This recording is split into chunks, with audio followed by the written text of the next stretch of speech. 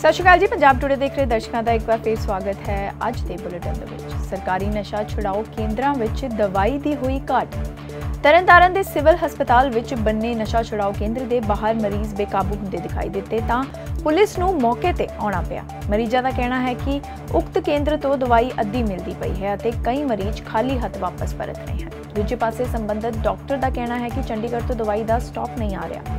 ਜਦ ਤੱਕ ਦਵਾਈ ਦਾ ਪੂਰਾ ਸਟਾਕ ਨਹੀਂ ਆਉਂਦਾ ਮਰੀਜ਼ਾਂ ਨੂੰ ਮੁਸ਼ਕਲ ਦਾ ਸਾਹਮਣਾ ਕਰਨਾ ਪੈਂਦਾ ਹੈ। ਮੈਡੀਸਨ ਜਿਹੜੀ ਹੈ ਪਿੱਛੋਂ ਸ਼ਾਰਟੇਜ ਹੋਣ ਦੇ ਕਰਕੇ ਜਿਹੜੀ ਅਸੀਂ ਇਕੱਠੇ ਹਫ਼ਤੇ ਦੀ ਜਿਹੜੀ ਦਵਾਈ ਦਿੰਦੇ ਸੀ ਉਹ ਅਸੀਂ ਹੁਣ ਇੱਕ ਦਿਨ ਦੀ ਹੀ ਦੇ ਰਹੇ ਹਾਂ ਸਾਰਿਆਂ ਨੂੰ ਜੋ ਦਿੱਕਤ ਦਵਾਈ ਪਿੱਛੋਂ ਨਹੀਂ ਆਂਦੀ ਚੰਗੀ ਸਪਲਾਈ ਦੇ ਵਿੱਚ ਉਹ ਦਿੱਕਤ ਅਸੀਂ ਰੋਜ਼ ਹੀ ਇਹਨਾਂ ਨੂੰ ਦਵਾਈ ਦੇਖਣ ਦਾ ਟਾਈਮ ਕੱਢਾਂਗੇ। ਵਾਇਲੈਂਸ ਵੀ ਰਹਿੰਦੀ ਕਈ ਵਾਰੀ ਇੱਥੇ ਵਾਇਲੈਂਸ ਦਾ ਵੀ ਸਾਹਮਣਾ ਕਰਨਾ ਪੈਂਦਾ। ਐਕਚੁਅਲੀ ਪੇਸ਼ੈਂਟਸ ਬਹੁਤ ਜ਼ਿਆਦਾ ਹੈ ਤਰਨ ਤਾਰਨ ਤਰਨ ਜ਼ਿਲ੍ਹੇ 'ਚ 18000 ਤੋਂ ਪਲੱਸ ਮਰੀਜ਼ ਰਜਿਸਟਰ ਹੈਗੇ ਹੈ ਤੇ ਫਿਰ ਉਹ ਇੱਕ ਹੀ ਗੋਲੀ ਕਰਕੇ ਮਤਲਬ ਉਹਨਾਂ ਨੂੰ ਰੋਜ਼ ਜਿਹੜੇ ਲਾਈਨ 'ਚ ਲੱਗਣਾ ਪੈ ਰਿਹਾ, ਉਹਦੇ ਕਰਕੇ ਵੀ ਥੋੜੀ ਤੰਗੀ ਤੇ ਆਉਂਦੀ ਹੈ। ਇਧਰੋਂ ਗਰਮੀ ਦਾ ਮੌਸਮ ਵੀ ਹੈ।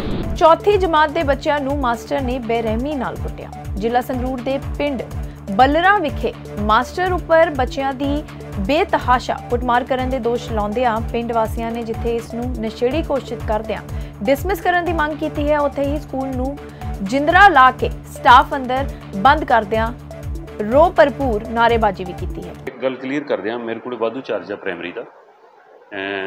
ਮੇਰੇ ਕੋਲ ਇੱਕ ਕੰਪਲੇਂਟ ਆਈ ਅੱਜ ਸਵੇਰੇ, ਜਿਹੜੀ ਮੇਰੀ WhatsApp ਤੇ ਆਈ ਆ। ਸਕੂਲ ਨੂੰ ਉਹਨਾਂ ਨੇ 4 ਤਰੀਕ ਨੂੰ ਸ਼ਾਇਦ ਜਾਂ 5 ਨੂੰ ਦਿੱਤੀ ਸੀ ਤੇ ਉਹਨਾਂ ਨੇ ਫਾਰਵਰਡ ਕਰਕੇ ਭੇਜੀ ਹੈ ਮੈਨੂੰ। ਉਹਦੇ ਤੇ ਉਹਨਾਂ ਨੇ ਕੁਝ ਦੋਸ਼ ਲਾਏ ਸੀ ਸੰਬੰਧਿਤ ਟੀਚਰ ਦੇ ਉੱਪਰ, ਜਿਨ੍ਹਾਂ ਨੂੰ ਕਿ ਆ ਕੇ, ਕਿਉਂਕਿ ਦੋ ਛੁੱਟੀਆਂ ਸੀ ਤਿੰਨ ਛੁੱਟੀਆਂ ਸੀ, ਜਿਹਦੇ ਕਰਕੇ ਆ ਕੇ ਮੈਂ ਮਾਰਕ ਕਰ ਦਿੱਤੀ ਇਨਕੁਆਰੀ ਮਾਰਕ ਹੋ ਗਈ ਹੈ ਜੀ। ਤੇ ਜਿਹੜਾ ਕੁੱਟਮਾਰ ਬਾਰੇ ਸੰਬੰਧ ਵਿੱਚ ਉਹ ਮੈਨੂੰ ਵੀ ਪੁਲਿਸ ਕੋਲੋਂ ਪਤਾ ਲੱਗਿਆ। ਮੇਰੇ ਕੋਲ ਐਪਲੀਕੇਸ਼ਨ ਕੋਈ ਨਹੀਂ ਆਈ ਅਜੇ ਤੱਕ ਕੋਈ ਵੀ ਇਹਦੀ ਸ਼ਿਕਾਇਤ ਨਹੀਂ ਆਈ। ਉਹਦੇ ਸੰਬੰਧ ਵਿੱਚ ਵੀ ਮੈਂ ਪੁਲਿਸ ਕੋਲੋਂ ਇਨਫੋਰਮੇਸ਼ਨ ਲੈ ਕੇ ਤਾਂ ਜਿਹੜੀ ਵੀ ਬਣਦੀ ਕਾਰਵਾਈ ਹੋਊਗੀ ਆਪਾਂ ਕਰਾਂਗੇ। ਸਰ ਸਕੂਲ ਦੇ ਅੱਗੇ ਪਿੰਡ ਵਾਲਿਆਂ ਨੇ ਧਰਨਾ ਲਗਾ ਦਿੱਤਾ? ਹਾਂ ਮੈਨੂੰ ਫੋਨ ਤੇ ਹੀ ਪਤਾ ਲੱਗਿਆ ਇਸ ਸੰਬੰਧ ਵਿੱਚ। ਉਹ ਜਿਹੜਾ ਜਾਣਕਾਰੀ ਮਿਲੀ ਆ ਬਸ ਐਕਸ਼ਨ ਲੈ ਰਹੇ ਆ ਉਹਦੇ ਤੇ ਅੱਜ ਹੀ ਹੋ ਜਾਊਗਾ।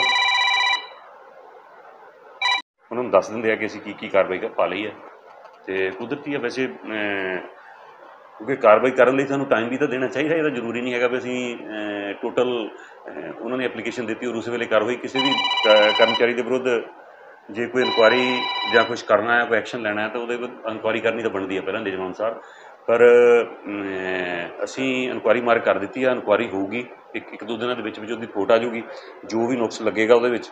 ਜਾਂ ਜੋ ਵੀ ਫੈਸਲਾ ਹੋਏਗਾ ਆਪਾਂ ਡੀਪੀਏ ਨੂੰ ਲਿਖ ਦਿਆਂਗੇ। ਤੇ ਹਾਲ ਦੀ ਘੜੀ ਇਹ ਹੈਗਾ ਵੀ ਇਨਕੁਆਰੀ ਮਾਰਕ ਹੋ ਗਈ ਹੈ ਤੇ ਬਾਕੀ ਹੋਰ ਜੇ ਮੇਰੇ ਕੋਲੇ ਆਉਂਦੀ ਹੈ ਇਹੋ ਜਿਹੀ ਕੋਈ ਕੁੱਟਮਾਰ ਨਾਲ ਪੁਲਿਸ ਨਾਲ ਮੇਰੀ ਰਾਬਤਾ ਜਿਹੜਾ ਕਾਇਮ ਹੋਇਆ, ਕਿਉਂਕਿ ਹੁਣੇ ਪੁੱਛ ਕੇ ਹਟਿਆ ਮੈਂ ਉਹਨਾਂ ਨਾਲ।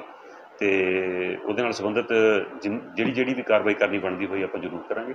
ਔਰ ਇਹਦੇ ਨਾਲੋਂ ਜ਼ਿਆਦਾ ਕੁਇਕ ਕੰਮ ਮੇਰੇ ਪਾਰਟ ਤਾਂ ਨਹੀਂ ਹੋ ਸਕਦਾ, ਕਿਉਂਕਿ ਹੋ ਸਕਦਾ ਬੀਪੀਓ ਕੋਲੇ ਚਿੱਠੀ ਰਹਿ ਗਈ ਹੋਵੇ ਜਾਂ ਸਕੂਲ ਵੱਲੋਂ ਥੋੜੀ ਡਿਲੇ ਹੋ ਗਈ ਹੋਵੇ। ਮੈਨੂੰ ਹੁਣ ਮਿਲੀ ਆ ਸਵੇਰੇ ਤੇ ਆਪਾਂ ਆਉਂਦੇ ਹੀ ਐਕਸ਼ਨ ਕਰ ਦਿੱਤਾ ਉਹਦੇ। ਟਰੈਕਟਰਾਂ ਤੇ ਹੋ ਰਹੀ ਕਣਕ ਦੀ ਢੁਆਈ ਦਾ ਟਰੱਕ ਯੂਨੀਅਨ ਵੱਲੋਂ ਵਿਰੋਧ। ਰੂਪਨਗਰ ਅਨਾਜ ਮੰਡੀ ਵਿੱਚ ਟਰੈਕਟਰਾਂ ਰਾਹੀਂ ਕੀਤੀ ਜਾ ਰਹੀ ਕਣਕ ਦੀ ਲਿਫਟਿੰਗ ਦਾ ਟਰੱਕ ਯੂਨੀਅਨ ਦੇ ਵੱਲੋਂ ਵਿਰੋਧ ਕੀਤਾ ਗਿਆ ਹੈ। ਰੂਪਨਗਰ ਅਨਾਜ ਮੰਡੀ ਵਿੱਚ ਇਕੱਠੇ ਹੋਏ ਟਰੱਕ ਆਪਰੇਟਰਾਂ ਨੇ ਇੱਕ ਟਰੈਕਟਰ ਤੇ ਲੱਦੀ ਜਾ ਰਹੀ ਕਣਕ ਨੂੰ ਰੁਕਵਾ ਦਿੱਤਾ ਤੇ ਵਿਰੋਧ ਕੀਤਾ। ਮੌਕੇ ਤੇ ਮੌਜੂਦ ਟਰੱਕ ਆਪਰੇਟਰ ਨੇ ਕਿਹਾ ਕਿ ਉਹ ਸਰਕਾਰ ਨੂੰ ਲੱਖਾਂ ਰੁਪਏ ਦੇ ਟੈਕਸ ਅਤੇ ਹੋਰ ਖਰਚੇ ਦਿੰਦੇ ਨੇ ਅਤੇ ਹਰ ਸਾਲ ਟਰੱਕ ਯੂਨੀਅਨ ਨੂੰ ਕਣਕ ਦੀ ਲਿਫਟਿੰਗ ਦਾ ਕੰਮ ਦਿੱਤਾ ਜਾਂਦਾ ਹੈ। ਪਰੰਤੂ ਖੇਤੀਬਾੜੀ ਲਈ ਵਰਤੇ ਜਾਂਦੇ ਟਰੈਕਟਰ ਟਰਾਲੀਆਂ ਦੀ ਨਜਾਇਜ਼ ਵਰਤੋਂ ਕਰਕੇ ਕੁਝ ਵਿਅਕਤੀ ਉਹਨਾਂ ਨੂੰ ਵਪਾਰਕ ਤੌਰ ਤੇ ਚਲਾ ਕੇ ਟਰੱਕ ਆਪਰੇਟਰਾਂ ਦਾ ਨੁਕਸਾਨ ਕਰ ਰਹੇ ਨੇ। ਅਤੇ ਟਰੱਕ ਆਪਰੇਟਰਾਂ ਨੇ ਕਿਹਾ ਕਿ ਉਹ ਹਰਗਿਜ਼ ਬਰਦਾਸ਼ਤ ਨਹੀਂ ਕਰਨਗੇ ਕਿ ਉਹਨਾਂ ਦੇ ਧੰਦੇ ਦਾ ਕੋਈ ਨੁਕਸਾਨ ਕਰੇ। ਅੱਜ ਮਸਲਾ ਇਹ ਜੀ ਵੀ ਜੋ ਦਿਨ ਪਰ ਦਿਨ ਮਹਿੰਗਾਈ ਵੱਧ ਰਹੀ ਹੈ ਤੇਲ ਦੀਆਂ ਕੀਮਤਾਂ ਵੱਧ ਰਹੀਆਂ, ਰਸੋਈ ਗੈਸ ਦੀਆਂ ਕੀਮਤਾਂ ਵੱਧ ਰਹੀਆਂ ਤੇ ਇਹਦੇ ਨਾਲ ਆਮ ਆਦਮੀ 'ਤੇ ਜਿਹੜੇ ਮਾਰੂ ਪ੍ਰਭਾਵ ਪੈ ਰਹੇ ਹੈ ਉਹਨਾਂ ਦੇ ਖਿਲਾਫ ਸਾਡੀ ਪਾਰਟੀ ਸੀਪੀਆਈਐਮ ਨੇ ਦੀ ਕੇਂਦਰੀ ਕਮੇਟੀ ਨੇ ਫੈਸਲਾ ਕੀਤਾ ਕਿ ਪੂਰੇ ਹਿੰਦੁਸਤਾਨ ਦੇ ਵਿੱਚ ਐਸਡੀਐਮ ਨੂੰ ਮੰਗ ਪੱਤਰ ਦਿੱਤੇ ਜਾਣ, ਜਿਸ ਦੇ ਨਾਲ ਕਿ ਮਹਿੰਗਾਈ ਨੂੰ ਰੋਕ ਲਾਈ ਜਾਵੇ ਅਤੇ ਆਮ ਲੋਕਾਂ ਦੀ ਜ਼ਿੰਦਗੀ 'ਚ ਥੋੜਾ ਬਹੁਤਾ ਜੋ ਸੁਧਾਰ ਹੋਵੇ, ਜਿਹੜੇ ਉਹਨਾਂ ਪਰ ਬੋਝ ਪੈ ਰਿਹਾ ਉਹ ਬੋਝ ਘੱਟ ਕੀਤਾ ਜਾਵੇ। ਉਹਦੇ ਖਿਲਾਫ 8 ਤਰੀਕ ਨੂੰ ਕੀਤਾ ਜਾ ਰਿਹਾ ਸੀ, ਪਰ 8 ਤਰੀਕ ਨੂੰ ਪੰਜਾਬ ਵਿੱਚ ਛੁੱਟੀ ਹੋਣ ਕਰਕੇ ਅੱਜ ਅਸੀਂ ਐਸਡੀਐਮ ਸਾਹਿਬ ਨੂੰ ਮੰਗ ਪੱਤਰ ਦੇਣ ਜਾ ਰਹੇ ਹਾਂ ਮਹਿੰਗਾਈ ਦੇ ਖਿਲਾਫ। ਪਹਿਲਾਂ ਵੀ ਇਹ ਜਿਹੇ ਧਰਨੇ ਮਹਿੰਗਾਈ ਦੇ ਖਿਲਾਫ ਲੱਗਦੇ ਰਹਿੰਦੇ ਆ ਕਿ ਇਹਦਾ ਕੋਈ ਅਸਰ ਦੇਖਣ ਨੂੰ ਨਹੀਂ ਮਿਲਦਾ ਕਿਵੇਂ ਦੇਖਦੇ ਕੋਈ ਅਸਰ ਹੋ ਹੀ ਨਹੀਂ ਰਿਹਾ ਤਾਂ। ਅਸਰ ਇਦਾਂ ਜੀ ਵੀ ਲੋਕਾਂ ਦੇ ਜੋ ਵੀ ਹੈ ਇਹ ਸਰਕਾਰ ਨੇ ਦੇਖਣਾ ਹੈ ਪਰ ਸਾਡਾ ਫਰਜ਼ ਹੈਗਾ ਅਸੀਂ ਲੋਕਾਂ ਨੂੰ ਲਾਮਬੰਦ ਕਰਕੇ ਜੋ ਕਿਤੇ ਨਾਇਨਸਾਫੀ ਹੁੰਦੀ ਹੈ ਨਾਇਨਸਾਫੀ ਦੇ ਖਿਲਾਫ ਲੜਾਈ ਲੜਨੀ ਇਹ ਸਾਡੀ ਡਿਊਟੀ ਹੈ। ਬਾਕੀ ਸਰਕਾਰ ਦੀ ਡਿਊਟੀ ਹੈ ਉਹ ਲੋਕਾਂ ਨੂੰ ਰਾਹਤ ਦੇਵੇ ਜਾਂ ਨਾ ਦੇਵੇ ਇਹ ਸਰਕਾਰ ਪਰ ਹੈ। ਚੋਣਾਂ ਤੋਂ ਪਹਿਲਾਂ ਕਿਵੇਂ ਦੇਖਦੇ ਹੋ ਵੀ ਰੇਟ ਡੇਟ ਘਟਾ ਦਿੱਤੇ ਜਾਂਦੇ, ਬਾਅਦ ਚ ਵਧਾ ਦਿੱਤੇ ਜਾਂਦੇ? ਇਹੋ ਸਰਕਾਰ ਕੋਲ ਫੰਡਾ ਇਹੀ ਹੈ ਜੀ ਸਰਕਾਰ ਦਾ ਕਿ ਜਦੋਂ ਚੋਣਾਂ ਹੁੰਦੀਆਂ, ਉਸ ਟਾਈਮ ਤਾਂ ਸਰਕਾਰ ਤੇਲ ਕੰਪਨੀ ਨੂੰ ਕਹਿੰਦੀ ਹੈ ਕਿ ਰੇਟ ਵਧਾਉਣੇ ਨਹੀਂ ਹੈ। ਉਹ ਤੋਂ ਬਾਅਦ ਕਹਿੰਦੀ ਰੇਟ ਸਾਡੇ ਰੇਟ ਕੰਟਰੋਲ ਸਾਡੇ ਹੱਥ ਵਿੱਚ ਨਹੀਂ ਹੈ, ਇਹ ਡੀ ਕੰਟਰੋਲ ਕੀਤਾ ਹੋਇਆ ਪਰ ਇਹ ਪੁੱਛਣ ਵਾਲੀ ਗੱਲ ਤਾਂ ਇਹੋ ਜਿਹੜੀ ਤੁਸੀਂ ਸਹੀ ਗੱਲ ਪੁੱਛੀ ਹੈ, ਸਹੀ ਹੈ ਇਹ ਕਿ ਜਦੋਂ ਚੋਣਾਂ ਦੇ ਦਿਨਾਂ ਵਿੱਚ ਤੇਲ ਦੇ ਰੇਟ ਨਹੀਂ ਵੱਧਦੇ ਤਾਂ ਇਹਦਾ ਮਤਲਬ ਹੈ ਸਰਕਾਰ ਦੇ ਕੰਟਰੋਲ ਵਿੱਚ ਚੱਲ ਰਿਹਾ ਸਾਰਾ ਕੁਝ ਪਰ ਸਰਕਾਰ ਬੇਈਮਾਨੀ ਕਰਕੇ ਗਰੀਬਾਂ 'ਤੇ ਬੋਝ ਪਾ ਰਹੀ ਹੈ। ਕਿਸਾਨ ਜਥੇਬੰਦੀਆਂ ਵੱਲੋਂ ਵਿਰੋਧ ਸ਼ੁਰੂ। ਕੇਂਦਰ ਸਰਕਾਰ ਦੇ ਨੀਤੀ ਆਯੋਗ ਦੇ ਮੈਂਬਰ ਵੱਲੋਂ ਤਿੰਨ ਵਾਪਸ ਲਏ ਗਏ ਖੇਤੀ ਕਾਨੂੰਨਾਂ ਦੇ ਹੱਕ ਵਿੱਚ ਮੁੜ ਬਿਆਨ ਦਿੱਤਾ ਗਿਆ ਹੈ, ਜਿਸ ਵਿੱਚ ਉਹਨਾਂ ਕਿਹਾ ਕਿ ਦੇਸ਼ ਦੀ ਖੇਤੀ ਵਿੱਚ ਸੁਧਾਰ ਲਈ ਖੇਤੀ ਕਾਨੂੰਨ ਲਾਹੇਵੰਦ ਹਨ, ਜਿਸ ਦਾ ਕਿਸਾਨ ਜਥੇਬੰਦੀਆਂ ਵੱਲੋਂ ਵਿਰੋਧ ਸ਼ੁਰੂ ਹੋ ਗਿਆ ਹੈ। ਵਿਧਾਇਕ ਗੁਰਪ੍ਰੀਤ ਗੋਗੀ ਨੇ ਸਿੱਧਵਾ ਨਹਿਰ ਦਾ ਦੌਰਾ ਕਰਨ ਜਵੱਦੀ ਪੁਲ ਦਾ ਖੁਲਵਾਇਆ ਕੱਟ। ਲੁਧਿਆਣਾ ਦੇ ਹਲਕਾ ਪੱਛਮੀ ਤੋਂ ਵਿਧਾਇਕ ਗੁਰਪ੍ਰੀਤ ਗੋਗੀ ਨੇ ਸਿੱਧਵਾਂ ਕਨਾਲ ਨਹਿਰ ਦਾ ਦੌਰਾ ਕਰ ਜਿੱਥੇ ਜਵੱਦੀ ਪੁਲ ਦਾ ਕੱਟ ਖੁਲਵਾਇਆ ਤਾਂ ਉੱਥੇ ਹੀ ਇਲਾਕੇ ਦੇ ਲੋਕਾਂ ਨਾਲ ਵੀ ਮੁਲਾਕਾਤ ਕੀਤੀ ਅਤੇ ਮੁਸ਼ਕਿਲਾਂ ਸੁਣੀਆਂ। ਪਿੰਡ ਵਾਸੀ ਬੜੇ ਪਰੇਸ਼ਾਨ ਸੀ, ਕਿਉਂਕਿ ਸ਼ਮਸ਼ਾਨ ਘਾਟ ਨੂੰ ਵੀ ਇਹੀ ਰਸਤਾ ਜਾਂਦਾ ਹੈ ਸਾਹਮਣੇ ਤੇ ਇਹਨਾਂ ਨੂੰ ਬਹੁਤ ਉੱਤੋਂ ਘੁੰਮ ਕੇ ਆਉਣਾ ਪੈਂਦਾ। ਪਲੱਸ ਐਮਰਜੈਂਸੀ ਕੋਈ ਵੀ ਹੋਵੇ ਤਾਂ 1.5 ਕਿਲੋਮੀਟਰ ਤੇ ਅੱਗੇ ਜਾ ਕੇ ਪੁਲ ਦੇ ਥੱਲੋਂ ਆਉਣਾ ਪੈਂਦਾ, ਉਧਰੋਂ ਪੂਰਾ ਜਾਮ ਲੱਗਦਾ। ਅੱਗੋਂ ਸੜਕ ਵੀ ਸਾਰੀ ਟੁੱਟੀ, ਉਹ ਵੀ ਮੈਂ ਰਿਪੇਅਰ ਕਰਵਾਉਣੀ ਆ। ਔਰ ਇਹ ਕੱਟ ਦੀ ਬਹੁਤ ਜ਼ਰੂਰਤ ਸੀ ਜਿਹੜਾ ਇਹਨਾਂ ਦਾ ਬੰਦ ਸੀਗਾ ਉਹ ਅੱਜ ਜਨਤਾ ਦੀ ਪੁਰਜ਼ੋਰ ਮੰਗ ਤੇ ਪਿੰਡ ਜਵੱਦੀ ਦੇ ਜਿੰਨੇ ਸਾਰੇ ਸਾਡੇ ਸਤਿਕਾਰਯੋਗ ਪੰਜਾਬ ਮਾਤਾ ਪੰਜਾਬ ਮਾਤਾ ਨਗਰ ਪੂਰਾ। ਪੂਰਾ ਏਰੀਆ ਇਧਰੋਂ ਪੈਂਦਾ ਹੈਗਾ ਜਿਹਦੇ ਗੁਰੂ ਵਿਹਾਰ ਬੜੇ ਏਰੀਏ ਪੈਂਦੇ ਨੇ ਤੇ ਪ੍ਰਕਾਸ਼ ਨਗਰ ਬਹੁਤ ਏਰੀਏ ਪੈਂਦੇ ਨੇ ਜਿਨ੍ਹਾਂ ਨੂੰ ਬੜੀ ਸਹੂਲਤ ਦੀ ਲੋੜ ਸੀ ਤੇ ਅੱਜ ਸੰਗਤ ਦੀ ਪੂਰੇ ਦੋ ਰਿਮਾਂਡ ਦੇ ਉੱਤੇ ਕੱਲ ਮੈਂ ਮੀਟਿੰਗ ਕੀ ਧੰਨਵਾਦ ਕਰਨ ਆਇਆ ਸੀਗਾ ਕਰਨ ਆਇਆ ਸੀਗਾ ਪ੍ਰਦੇਸੀ ਸਾਹਿਬ ਦੇ ਘਰੇ ਉੱਥੇ ਵੀ ਸਾਰਿਆਂ ਨੇ ਇਹੀ ਡਿਮਾਂਡ ਕੀਤੀ ਤੇ ਉਦੋਂ ਫਿਰ ਮੈਂ ਡਿਊਟੀ ਲਈ ਐਕਸ਼ਨ ਸਮਾਨਯੋਗ ਸਾਡੇ ਐਕਸ਼ਨ ਸਾਹਿਬ ਪੀਡਬਲਯੂਡੀ ਤੋਂ ਆ ਚੁੱਕੇ ਨੇ, ਆਪਣੇ ਹਾਈਡਰਾ ਵਗੈਰਾ ਲੈ ਆਏ ਨੇ। ਹੁਣੇ ਅਸੀਂ ਸੰਗਤ ਦੇ ਸਹਿਯੋਗ ਨਾਲ ਇਹ ਕੱਟ ਖੋਲਣ ਜਾ ਰਹੇ ਲੋਕਾਂ ਦੇ ਸਹੂਲਤ ਵਾਸਤੇ। ਨੀਤੀ ਆਯੋਗ ਦੇ ਮੈਂਬਰ ਰਮੇਸ਼ ਚੰਦਰ ਨੇ ਵੱਡਾ ਬਿਆਨ ਦਿੱਤਾ। ਨੀਤੀ ਆਯੋਗ ਦੇ ਮੈਂਬਰ ਰਮੇਸ਼ ਚੰਦਰ ਨੇ ਵੱਡਾ ਬਿਆਨ ਦਿੱਤਾ ਕਿ ਖੇਤੀਬਾੜੀ ਕਾਨੂੰਨ ਕਿਸਾਨਾਂ ਲਈ ਫਾਇਦੇਮੰਦ ਹਨ। ਕਿਸਾਨ ਬਹੁਤ ਹੇਠਾਂ ਜਾ ਰਹੇ ਹਨ। ਜੇਕਰ ਤੁਸੀਂ ਇਸ ਨੂੰ ਦੁਬਾਰਾ ਉੱਚਾ ਚੁੱਕਣਾ ਚਾਹੁੰਦੇ ਹੋ ਤਾਂ ਖੇਤੀਬਾੜੀ ਕਾਨੂੰਨ ਤੇ ਫਿਰ ਤੋਂ ਚਰਚਾ ਹੋਣੀ ਚਾਹੀਦੀ ਹੈ। ਜਥੇਬੰਦੀਆਂ ਨਾਲ ਹੋਈਆਂ। ਸੈਂਟਰ ਸਰਕਾਰ ਦੇ ਮੰਤਰੀਆਂ ਦੀਆਂ।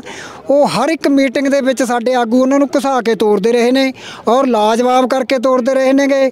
ਜੇ ਉਹਨਾਂ ਨੇ, ਉਹਨਾਂ ਨੂੰ ਇਸ ਗੱਲ ਬਾਰੇ ਬਿਲਕੁਲ ਸਾਰਾ ਸਪਸ਼ਟ ਹੈਗਾ ਕਿ ਇਹ ਕਾਨੂੰਨ ਜ਼ਿਮੀਂਦਾਰਾਂ ਦੇ ਜਾਂ ਸਮਝੇ ਸਮਾਜ ਦੇ ਹੱਕ 'ਚ ਨਹੀਂ ਹਨ।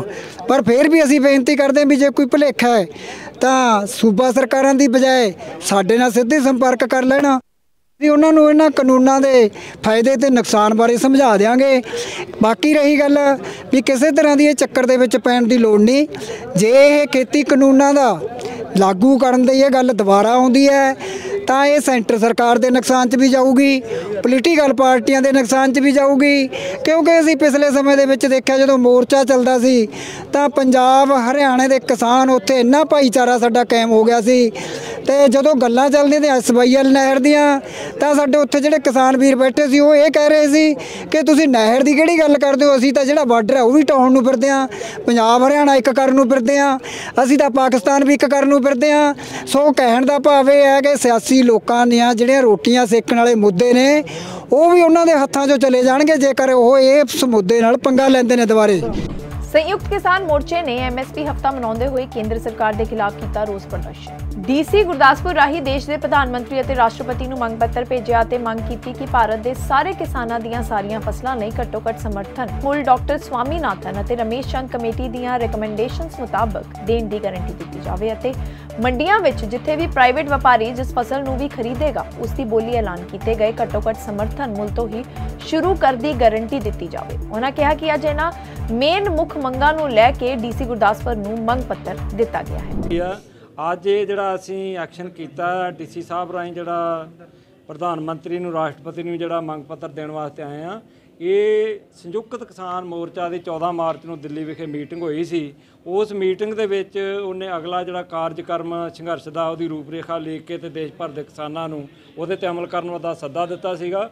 ਉਹਦੇ ਤਹਿਤ ਹੀ 11 ਤੋਂ 17 ਅਪ੍ਰੈਲ ਤੱਕ ਦੇਸ਼ ਭਰ ਦੇ ਅੰਦਰ ਜਿਹੜਾ ਵਿਸ਼ੇਸ਼ ਤੌਰ ਦੇ ਉੱਤੇ ਘੱਟੋ ਘੱਟ ਸਮਰਥਨ ਮੁੱਲ ਦਿਓ ਹਫਤਾ ਮਨਾਉਣ ਦਾ ਸੱਦਾ ਦਿੱਤਾ ਗਿਆ ਸੀ, ਕਿਉਂਕਿ ਖੇਤੀ ਜਿਣਸਾਂ ਨੇ ਜਿਹੜੀਆਂ ਵਾੜੀ ਦੀਆਂ ਨਾਲ ਸੰਬੰਧਿਤ ਉਹ ਇਹਨਾਂ ਦਿਨਾਂ ਦੇ ਵਿੱਚ ਮਾਰਕੀਟ ਦੇ ਵਿੱਚ ਮੰਡੀ ਦੇ ਵਿੱਚ ਜਿਹੜੀਆਂ ਮ- ਵਿਕਣ ਵਾਸਤੇ ਆਉਂਦੀਆਂ ਨੇ, ਸੋ ਇਹ ਸੱਦਾ ਦਿੱਤਾ ਗਿਆ ਸੀ ਕਿ ਉਸ ਸਮੇਂ ਤੇ ਜਦੋਂ ਆਮ ਤੌਰ ਤੇ ਸਾਡਾ ਇਹ ਅਮਲ ਆ ਕਿ ਕਿ ਸਾਡੀਆਂ ਜਿਹੜੀਆਂ ਖੇਤੀ ਜਿਣਸਾਂ ਨੇ, ਉਹ ਮੰਡੀਆਂ ਦੇ ਵਿੱਚ ਰੁਲਦੀਆਂ ਨੇ ਔਰ ਜਦੋਂ ਇੱਕ ਪਾਸੇ ਉਹ ਜਿਣਸ ਜਿਹੜੀ ਆ ਰੁਲ ਰਹੀ ਹੋਏ, ਉਹਦੇ ਨਾਲ ਜੋੜ ਕੇ, ਮੇਚ ਕੇ ਤਾਲਮੇਲ ਰੱਖ ਕੇ ਉਹਦੇ ਨਾਲ ਇਹ ਮੰਗ ਜਿਹੜੀ ਹੈ ਤੇ ਵਿਸ਼ੇਸ਼ ਤੌਰ ਦੇ ਉੱਤੇ ਸਾਨੂੰ ਜਿਹੜਾ ਉਹ ਜ਼ੋਰ ਦਿੱਤਾ ਜਾਣਾ ਚਾਹੀਦਾ। ਇਸ ਤੋਂ ਇਲਾਵਾ ਬਾਕੀ ਵੀ ਜਿਹੜੀਆਂ ਨੇ ਮੰਗਾਂ ਉਹਨਾਂ ਨੂੰ ਵੀ, ਉਹਨਾਂ ਵੱਲ ਵੀ ਜਿਹੜਾ ਉਹ ਧਿਆਨ ਦਿੱਤਾ ਜਾਣਾ, ਜਿਹੜੀਆਂ 9 ਦਸੰਬਰ ਨੂੰ ਸਾਡਾ ਜਿਹੜਾ ਸਮਝੌਤਾ ਹੋਇਆ ਦਿੱਲੀ ਸਰਕਾਰ ਕੇਂਦਰ ਸਰਕਾਰ ਦੇ ਨਾਲ, ਉਹਦੀਆਂ ਜਿਹੜੀਆਂ ਅਧੂਰੀਆਂ ਮੰਗਾਂ ਜਿਹੜਾ ਉੱਥੇ ਦਾ ਉੱਥੇ ਹੀ ਉਹ ਅਮਲ ਰੋਕਿਆ ਹੋਇਆ, ਉਸ ਅਮਲ ਨੂੰ ਅੱਗੇ ਵਧਾਉਣ ਵਾਸਤੇ ਮੰਗਾਂ ਪੂਰੀਆਂ ਕਰਨ ਵਾਸਤੇ ਆਮ ਤੌਰ ਤੇ ਤੇ ਵਿਸ਼ੇਸ਼ ਤੌਰ ਤੇ ਘੱਟੋ ਘੱਟ ਸਮਰਥਨ ਮੁੱਲ ਦੇਣ ਵਾਸਤੇ ਜਿਹੜਾ ਅੱਜ ਦਾ ਸੱਦਾ ਦਿੱਤਾ ਗਿਆ ਸੀ, ਉਹਦੇ ਤਹਿਤ ਅਸੀਂ ਗੁਰੂ ਨਾਨਕ ਪਾਰਕ ਵਿਖੇ ਰੈਲੀ ਕਰਕੇ ਹੁਣ ਡੀਸੀ ਸਾਹਿਬ ਨੂੰ ਮੰਗ ਪੱਤਰ ਦੇਣ ਵਾਸਤੇ ਆਏ ਹਾਂ। ਇਹੋ ਜਿਹੀ ਜ਼ਰੂਰੀ ਜਾਣਕਾਰੀ ਲਈ ਜੁੜੇ ਰਹੋ ਸਾਡੇ ਚੈਨਲ ਦੇ ਨਾਲ, ਸਤਿ ਸ਼੍ਰੀ ਅਕਾਲ।